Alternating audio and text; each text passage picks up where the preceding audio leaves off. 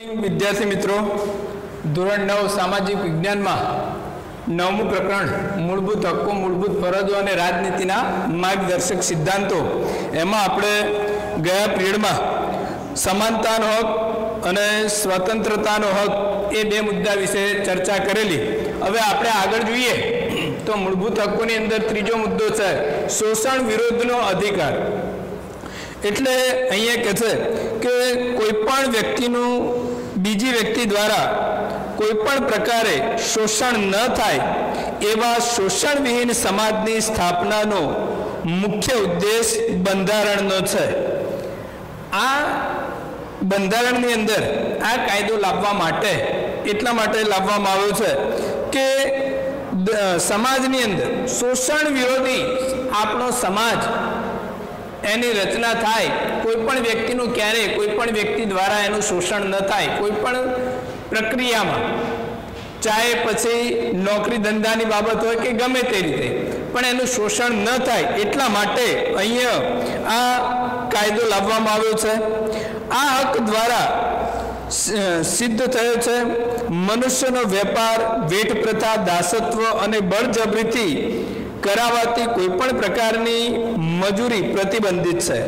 આમાં ટૂંકમાં કોઈ પણ પ્રકારની કામગીરી કોઈ પણ વ્યક્તિ જોડેથી કરાવવી હોય, તો આપણે એને કોઈ પણ પ્રકારનું દબાણ કરી શકતા નથી. જો દબાણ કરીને કરવામાં આવે, તો અહીંયા શું થાય?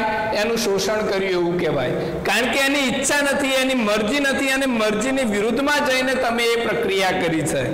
માટે અહીંયા એવું કહેવામાં આવશે કે એનું તમે અહીંયા શોષણ કર્યું છે, કામ કરવું નથી. તેમ છતાંય તમે એને બળજબરીપૂર્વક કામ કરાવ્યું છે. એટલા માટે અહીંયા આ રીતે એનું શોષણ થયેલું એવું કહેવાશે.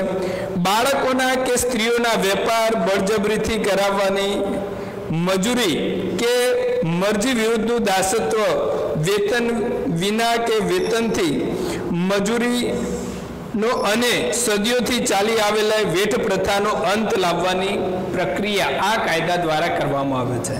કે કોઈ પણ પ્રકારની બાળકો કે સ્ત્રીઓને કોઈ પણ પ્રકારની વેઠ ન કરવી પડે એટલા માટે આ કાયદો લાવવામાં આવેલો છે. કે કોઈ પણ પ્રકારે સ્ત્રીઓનું શોષણ ન થાય, બાળકોનું, નાના બાળકોનું શોષણ ન થાય, એટલા માટે આ કાયદો લાવવામાં આવ્યો છે. વ્યક્તિ પાસે વેતન કે લઘુત્તમ વેતન કરતા ઓછા વેતનથી બળજબરીથી કામ કરાવવું શિક્ષાપાત્ર ગુનો છે. વ્યક્તિ પાસે અહીંયા કહ્યું છે કે વ્યક્તિ પાસે વેતન કે લઘુત્તમ વેતન કરતા ઓછા વેતનથી. આપણે વેતન આપીએ એ તો બરાબર છે. પણ એ વેતન આપવું કે એ વેતન ન આપવું અથવા તો એનાથી ઓછું વેતન જે આપવાનું છે. આપણે દાખલા તરીકે કોઈ મજૂરને લાવ્યા હોઈએ અને એને કહ્યું છે કે ભાઈ તમે અમે તને સાત પડે વેતન તરીકે સો રૂપિયા આપીશું, બરાબર? મજૂરી. હવે એ મજૂરી આપણે સો રૂપિયા આપવાની નક્કી કરી છે ને એને એંસી રૂપિયા કે પચાસ રૂપિયા આપીને આપણે કાઢી મૂકીએ તો ત્યાં એ વ્યક્તિનું શોષણ થયેલું એવું કહી શકાય.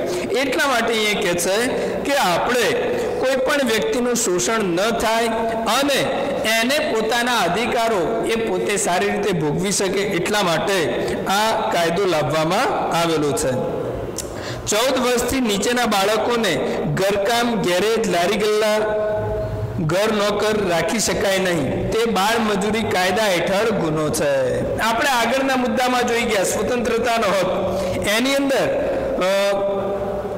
હાલમાં, એટલે કે બે હજાર નવની અંદર બંધારણમાં સુધારો કરીને છથી ચૌદ વર્ષના બાળકોને કેવું? મફત શિક્ષણ.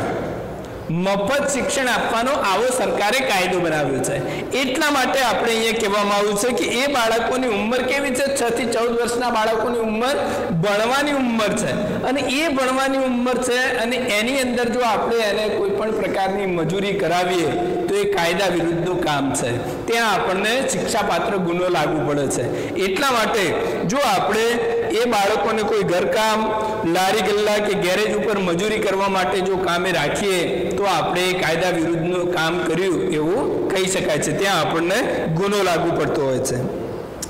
રાજ્યને જાહેર હેતુઓ, લશ્કરી સેવાઓ, રાષ્ટ્રીય ફરજો, સમાજ સેવા વગેરે ક્ષેત્રમાં ધર્મ, જાતિ, લિંગ વર્ગના ભેદભાવ વિના વ્યક્તિ પાસે ફરજિયાતપણે સેવા લેવાનો અધિકાર, વેતન કે વિના વેતન આપણો અધિકાર રહેલો છે.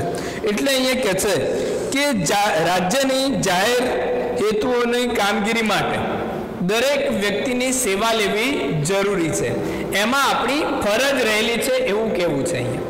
કે દરેક વ્યક્તિની ફરજ છે કે સંકટના સમયે આપણે દરેક વ્યક્તિને મદદરૂપ થવું. પછી આપણે એમાં વેતન મળે કે ન મળે. પણ અહીંયા આપણે એ એને મદદ કરવા માટે આપણે બંધાયેલા છીએ અને એ વખતે આપણે ના પાડી શકતા નથી. એટલા માટે એમાં આપણે એવું વિચારીએ કે અહીંયા મને પૈસા મળે તો જ હું આ કામ કરી શકું.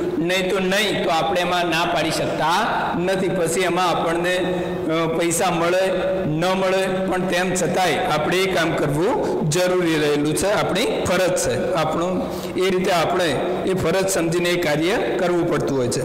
ત્યાર પછીનો મુદ્દો છે, ધાર્મિક સ્વતંત્રતાનો હક, ધાર્મિક ધર્મની બાબત. તો અહીંયા ધર્મની બાબતમાં જોઈએ તો ભારતનો કોઈ પણ નાગરિકને અંતઃકરણ અનુસાર પોતાનો મનપસંદ ધર્મમાં માનવાનો, તેનું પાલન કરવાનો અને તેનો પ્રચાર પ્રસાર કરવાનો સમાન અંધિ- અધિકાર બંધારણમાં ગણાયો છે. આપણે કોઈ પણ વ્યક્તિને ધર્મની બાબતમાં કશું જ એને કહી શકતા નથી, કારણ કે એમાં પણ એનો સ્વતંત્ર અધિકાર રહેલો છે. અને એ સ્વતંત્ર અધિકારના કારણે એ પોતે પોતાનું કાર્ય કરી શકતો હોય છે. એટલે આપણે એમાં એને કોઈ પણ પ્રકારનું દબાણ કરી શકતા નથી. એ પોતાનો પોતાની રીતે ધર્મ પાડી શકે છે અને એ રીતે એનો પ્રચાર પ્રસાર પણ કરી શકે છે.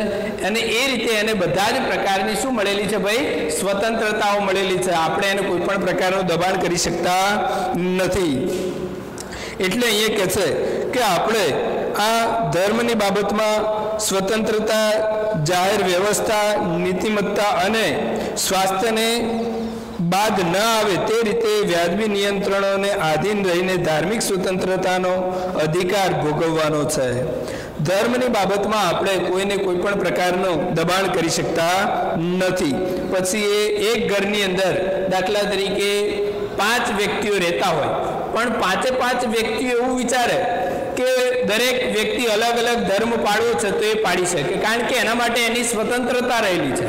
જો એ કોઈ પણ વ્યક્તિને આપણે એવું કહીએ કે ના, હું કહું એ જ તારે ધર્મ, આપણે આપણા દીકરાને, આપણા સંતાનોને પણ એવી ફરજ પાડી શકતા નથી કે તું આ જ ધર્મ, હું ધર્મ જે પાડું એ જ તારે ધર્મ પાડવો. એવું આપણે કહી શકતા નથી. કેમ? કારણ કે એને સ્વતંત્ર અધિકાર મળેલો છે. એટલા માટે આપણે કોઈ પણ પ્રકારનું એના ઉપર પણ દબાણ કરી શકતા નથી. એક ઘરની અંદર પાંચ વ્યક્તિ હોય તો પાંચે પાંચ અલગ અલગ ધર્મ પાડતા હોય એવું પણ આપણને જોવા મળશે. તો આપણે એટલા માટે કહે છે કે અહીંયા ધર્મની બાબતની અંદર પણ આપણે દરેક વ્યક્તિને આવો સ્વતંત્ર અધિકાર રહેલો છે. એમાં કોઈ પણ પ્રકારની આપણે દખલગીરી કરી શકતા નથી. અને દાખલા તરીકે અહીંયા એવું કહ્યું છે કે સરકારની ગ્રાન્ટમાંથી ચાલતી કોઈ પણ શૈક્ષણિક સંસ્થામાં ધાર્મિક શિક્ષણ આપી નહીં આપી શકાશે નહીં કે ધાર્મિક શિક્ષણમાં ભાગ લેવાની કે ધાર્મિક ઉપાસનામાં હાજર રહેવાની ફરજ પાડી શકાશે નહીં. કારણ કે દરેક વ્યક્તિ, કારણ કે તમે જે ધર્મ પાડ્યો હોય એ ધર્મમાં એ ન જ માનતી હોય એવું પણ જોવા મળશે. તો એ વ્યક્તિને એવું છે કે મારા આ ધર્મની અંદર નથી માનતો, નથી હાજર રહેવું, તો ન પણ રહી શકે. આપણે એને ફરજ પાડી શકતા નથી. ના, અમે આ કહીએ સ્કૂલમાંથી એવી ફરજ પાડવામાં આવે કે ભાઈ, અમારે અહીંયા આ ધર્મ પાડનાર વ્યક્તિઓ જ અહીંયા અમારી સ્કૂલમાં એડમિશન લઈ શકે. તો આપણે એ કાયદાની વિરુદ્ધમાં કામ કર્યું એવું કહી શકાશે કારણ કે દરેક વ્યક્તિનો સમાન અધિકાર છે અને એ વ્યક્તિ પોતાની રીતે સ્વતંત્ર રહેલો છે અને એ સ્વતંત્રતાનો એ પોતે પોતાની રીતે ઉપયોગ કરી અને એ પ્રમાણે એ પોતાનો ધર્મ પાડી શકે છે. તો અહીંયા મિત્રો આ બે મુદ્દાની આપણે ચર્ચા કરી. હવે એમાં બે ત્રણ પ્રશ્નો આપણે લખવાના છે. એ તમે લખી લો. ભારતનો નાગરિક કયા મૂળભૂત હકથી પોતાનો પોતાને યોગ્ય લાગે તે ધર્મ અપનાવી શકે છે. ત્યાર પછીનો મુદ્દો છે, બીજો પ્રશ્ન છે શોષણ મુક્ત સમાજની રચના એ આપણા બંધારણનો મુખ્ય ધ્યેય છે. બરાબર છે? અને ત્રીજો પ્રશ્ન છે, ધાર્મિક સ્વાતંત્રતાનો હક એ મુદ્દા વિશેની આપણે એક ટૂંક નોંધ લખવાની છે. આ ત્રણ પ્રશ્નો આપણે હોમવર્કની અંદર લખવાના છે. મિત્રો, ઘરે પણ થોડીક મહેનત કરજો. વાંચન કરતા રહેજો કે જેથી કરીને આપણે આ જે એકમ કસોટી ને બીજી જે કંઈ પરીક્ષાઓ લેવાય, સ્કૂલો ચાલુ થાય એ સમયે પણ આપણે એને યોગ્ય ન્યાય આપી શકીએ. નમસ્કાર.